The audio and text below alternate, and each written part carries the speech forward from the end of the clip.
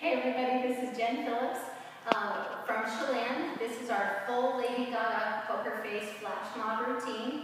Um, this will start with the trays and also I wanted to just really quickly let you know that when we do the chorus consecutive times at the end, there will be 16 beat intervals between each of those choruses.